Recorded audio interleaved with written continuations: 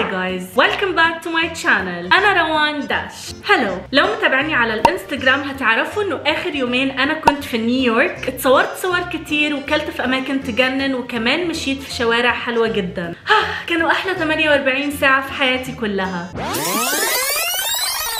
لكن إيه لو قلت لكم إن السفرية دي كلها كانت مزيفة؟ وإن كل الحاجات اللي كنت بنزلها على الإنستجرام آخر يومين وأنا في نيويورك كنت بنزلها وأنا في الأوضة والموضوع كله كان حرفيا فوتوشوب كل يوم بنشوف ناس على الإنترنت بتعمل فوتوشوب لوشها ولجسمها ولحياتها بالكامل. قررت إني هعمل تجربة على متابعيني لمدة 48 ساعة وأحاول أقنع الإنترنت بالكامل إني مسافرة وأنا حرفيا قاعدة في الأوضة. ومن خلال التجربة دي حبيت أوضح لكم فكرة مهمة جدا. وهي إنه مش كل حاجة تشوفوها على الإنترنت المفروض إنكم تصدقوها. قبل ما نبدأ الفيديو عايزة أقول لكم إن هي دي تعليقات النهارده. عايزة أقول لكم شكرا من كل قلبي على كلامكم اللي يجنن. ولو أنتوا حابين تعليقكم أنتوا يطلع معايا في الفيديو الجاي كل اللي عليكم تعملوه هو like على الفيديو. واعملوا subscribe في قناتي وسيبوا تعليقاتكم تحت وبس. ودلوقتي خلونا نبدأ الفيديو so let's go علشان أحاول أقنع متابعيني مليون في المية إني مسافرة على نيويورك هحتاج لخطة. والخطة دي لازم إن هي ما تخرش المية. دلوقتي لو أنتم مش عارفين فأنا عايشة في الإمارات. والطيارة من الإمارات لنيويورك بتاخد على الأقل 13 ساعة. فمش هيكون منطقي ابدا إني أنزل صورة كأني في المطار بعدها بساعتين أنزل صورة تانية كأني في نيويورك. وعلشان كده جات لي فكرة. افتكرت إنه أنا امبارح حرفيا اليوم كله ما كنتش موجودة خالص على ال social media وكنت مختفية فقلت ليه ما انزلش story دلوقتي على الانستجرام واقول فيها انه كنت مختفية امبارح لأنه كنت في الطيارة والطيارة كانت 13 ساعة. okay هعمل الايموجي بتاع الطيارة وهعمل الايموجي التاني اللي هو oh my god guys دلوقتي هنزلها. آه، نزلت. okay وقت ال story التانية فهكتب انه امبارح كان أطول يوم في حياتي. والطيارة بتاعتي كانت 13 ساعة علشان كده اختفيت عنكم. okay تاني story post بجد مش عارفة ليه أنا مرعوبة وحاسة إن أنا طول الوقت قاعدة بعمل حاجة غلط. هستنى كمان شوية وأرجع تاني على الإنستجرام علشان أشوف ردة فعل متابعيني عاملة إزاي. 10 seconds later. oh my god guys الناس بمعنى الكلمة كلهم مصدقين إن أنا مسافرة. في اللي بيقول رايحة المالديفز في اللي بيقول رايحة باريس في اللي بيقول رايحة مصر. حاسة بإحساس وحش قوي إن أنا دلوقتي هطلع بكذب في الآخر بس بجد يعني هي دي فكرة الفيديو إني أشوف التجربة دي هتنفع ولا لأ. الساعة دلوقتي في الإمارات 3 العصر وعندهم في أمريكا الساعة تقريبا 7 الصبح. فهنزل دلوقتي story على الانستجرام كأني ماشية في شوارع نيويورك. وطبعا لأنه أنا معرفش أي حد في أمريكا فهضطر إني أعمل حاجة ما بحبهاش ابدا وهي إني أسرق محتوى حد عايش في أمريكا. وبدأت من هنا رحلتي لسرق محتوى كل الناس اللي عايشين في نيويورك وبجد أنا آسفة جدا.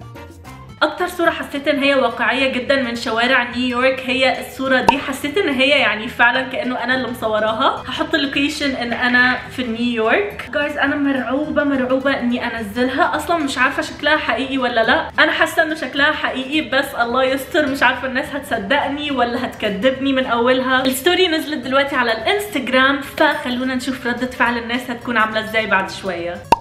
guys تخيلوا إن الناس كلها حرفيا مصدقة إنه أنا دلوقتي في أمريكا. الكل بمعنى الكلمة قاعد بيبعت لي حمد لله على السلامة. في ناس بتقول لي اعمل لنا vlogs الكل متحمس الكل مصدق والخطة مشيت بنجاح. guys بنين ستارز بعتالي DM بتقول لي خديني معاكي اشتقت. لا وأنا رد عليها بقول لها تعالي. تعالي هنقعد هنا أنا وأنتي مع بعض ونقنع الناس إن إحنا في أمريكا. A few inches later. لحد اللحظة دي الناس كلها تقريبا كانت مصدقني في نيويورك لحد ما شفت التعليقات دي. okay يا جماعة جات لي فكرة خطيرة حرفيا وأعتقد إنها هتقنع الناس مليون في المية أكتر من الأول إن أنا فعلا في نيويورك. so امبارح وأنا بدور في الإنستجرام بتاع البنت اللي عايشة في نيويورك جه عندي الفيديو ده اللي هو شكله حقيقي جدا شوفوا. فجات لي فكرة إنه ليه ما سجلش صوتي على الفيديو وبعد كده أنزله على الإنستجرام. guys وأخيرا وصلنا على نيويورك. شوفوا ما أحلى ال view والجو يجنن. شوفوا أحلى ال view والجو يجنن. oh my god guys oh my god okay الفيديو نزل. إحساس إن أنا قاعدة هنا بكذب على متابعيني قاعدة بزيف حياتي. أقدر أقول لكم إن هو أسوأ إحساس حسيته في حياتي بجد. مش عارفة ليه عايزة اكنسل الفيديو وأصور لكم فيديو عادي زي ما اتعودتوا عليا بس هنكمل. أول تعليق سلبي جالي هو باين إنه مش بتاعك الفيديو. وفي واحدة تانية تحسوها شاكة ان أنا مش في أمريكا. كاتبالي دي حاجة غريبة جدا. الناس بدأت تشك وتاخد بالها ان أنا مش مسافرة وإحنا لسه في أول التحدي.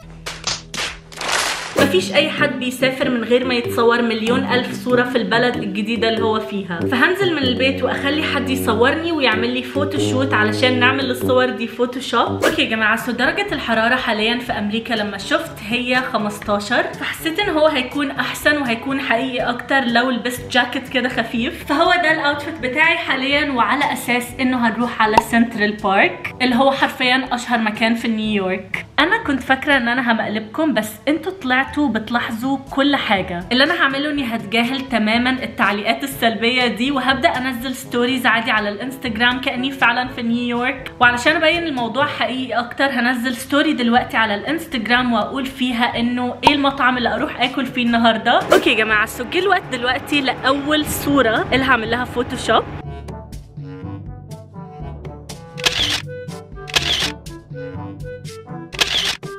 تمت المهمة بنجاح. بصراحة مش هكدب عليكم بعد ما خلصت ال photoshoot حسيت إني هموت من الجوع. فقررت إني أعمل نفسي رايحة أتغدى في مطعم في أمريكا. دورت ودورت ودورت ودورت لحد ما لقيت المطعم المناسب مطعم فايف جايز واحد من أشهر مطاعم ال fast food الموجودين في نيويورك. فالخطة بتاعتي إني أروح وأطلب أكل من المطعم ده وأعمل نفسي كأني في الفرع بتاع نيويورك.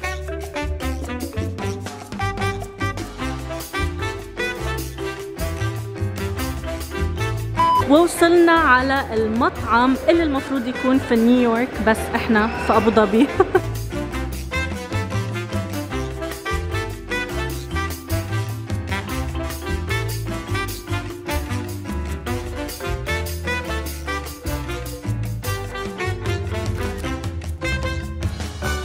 حاجة أنا ما خدتش بالي منها وهي إنه الساعة دلوقتي في نيويورك 9 الصبح. يعني ده مستحيل يكون وقت غدا في أمريكا. فاللي أنا هعمله إني هطلب الأكل وهستنى لحد الساعة تقريبا 3 أو 4 في أمريكا وبعد كده هنزل البوست.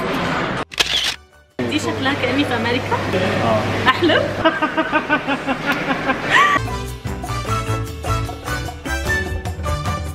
Three hours later.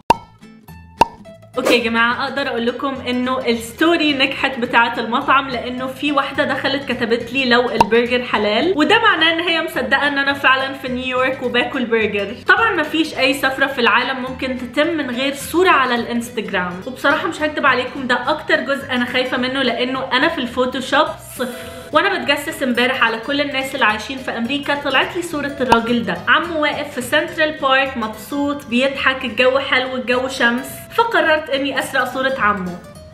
okay. أنا آسفة جدا يا عمو إن أنا بعمل كده بس أنت لازم تروح من الصورة دلوقتي. دي أبشع حاجة ممكن أعملها في حق الفوتوشوب بجد. oh my god oh my god قد إيه الموضوع يبان fake هحاول أحط نفسي كده قدام شوية وأخبي رجلي لأنه بحس لو سبتها كده هيبقى الموضوع fake قوي. okay يا جماعة أعتقد إن الصورة كده بقت جاهزة. أنا خلاص استسلمت. مش عارفة الناس هتقول إيه لما يشوفوا الصورة دي. هل هيصدقوا؟ هل هيكذبوني؟ أنا مش عارفة. أول مرة أكون حاسة بكمية الخوف ده بس من إني أنزل صورة على الإنستجرام. يا الله! وأخيرا زرت نيويورك. الصورة بقت محطوطة على الإنستجرام بتاعي. أنا حاسة إن أنا هموت من الخوف حاليا بجد. لا لا لا مش عايزة أشوف التعليقات قد ما أنا خايفة دلوقتي. في صفحة أخبار نزلت على صفحتها بتقول روان داش تسافر إلى نيويورك. الحمد لله على السلامة. oh my god okay ده أكبر دليل إن الناس فعلا بدأت تصدق. خلونا دلوقتي ندخل على ال post ونشوف إيه التعليقات اللي عليه. لحد دلوقتي التعليقات حلوة جدا. في ناس من أصحابي عاملين لي comments ما يعرفوش ولا عندهم أي فكرة أصلا إن أنا فعلا في البيت. أوكي أول تعليق سلبي وهو فوتوشوب بس كده فوتوشوب حاسة كأنها فوتوشوب حاسة ان الصورة فوتوشوب okay الواضح كده إن في ناس كتير جدا شاكين إنه أنا بعمل مقلب فهعمل أقصى ما في جهدي لحد ما يصدقوا. okay يا جماعة so جيت لغرفة محمد أخويا لأنه محدش يعرفها ابدا لا على الإنستجرام ولا على اليوتيوب ولا على أي حتة في ال social media. فاللي أنا هعمله إني هصور شوية انستجرام stories كده هقول فيهم إن أنا في نيويورك وصلت دلوقتي على الفندق وحطيت حاجاتي. guys وأخيرا جينا على الشقة اللي إحنا مأجرينها. fake fake fake fake قوي. guys وأخيرا جينا على الشقة اللي إحنا مأجرينها في نيويورك هنرتاح هشيل الميك اب وهرجع لكم تاني وأوريكم نيويورك بالكامل بالليل وهوريكم هنعمل إيه النهارده. so يا يا لهوي على الكذب. بعد ساعة قررت أسجل صوتي تاني على فيديو جديد من شوارع نيويورك okay يا جماعة هو ده الفيديو وهسجل صوتي هنا برا في الشباك.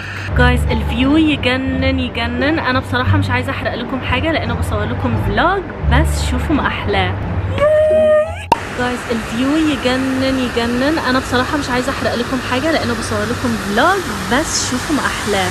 guys طالع حقيقي. oh my god The next day. okay يا جماعة so النهارده اليوم الثاني وأنا بحاول أقنع متابعيني إني في أمريكا وأنا في البيت. الصورة اللي أنا نزلتها امبارح على الإنستجرام كانت الصبح فقررت النهارده إني أنزل صورة على الإنستجرام بالليل. ولقيت الصورة دي بتاعت واحد كده واقف في شوارع نيويورك أول حاجة لازم أعملها هي إني أغير لبسي لأنه المفروض إنه في نيويورك بالليل بيكون الدنيا برد. okay guys خلصت لبس وهو ده ال outfit اللي أنا اخترت إني أتصور بيه الصورة. حاساه لايق قوي يكون كده في نيويورك. جاكيت أسود شنطة سودا ليجينجز أسود كل حاجة أسود في أسود لأنه الأسود هو عشقي أنتوا عارفين. بصراحة حاسة ان ناقص حاجة مهمة قوي. وبدأت من هنا أتصور الصورة اللي هعمل لها فوتوشوب فعندي الصورة هنا ودلوقتي جه الوقت اللي أنا ما بحبوش ودي فعليا أصعب حاجة في الفيديو كله وهي الفوتوشوب. أول حاجة لازم أعملها هي إني أشيل الولد ده من الصورة.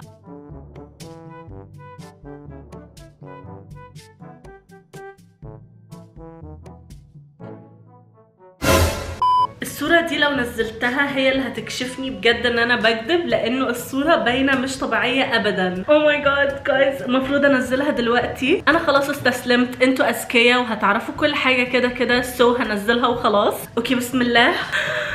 guys الصورة نزلت. عندي إحساس كبير قوي إن الناس هتقصف جبهتي. وإحساسي فعلا طلع في محله.